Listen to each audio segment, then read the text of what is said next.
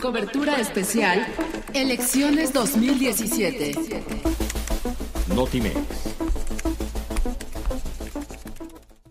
El próximo 4 de junio se realizarán elecciones ordinarias en cuatro estados de la República para renovar tres gubernaturas, 270 presidencias municipales, así como diputados locales y regidores.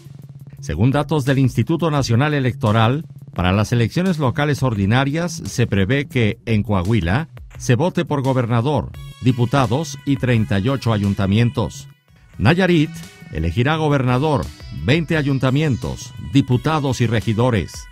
El Estado de México únicamente votará por gobernador y finalmente Veracruz elegirá 212 ayuntamientos.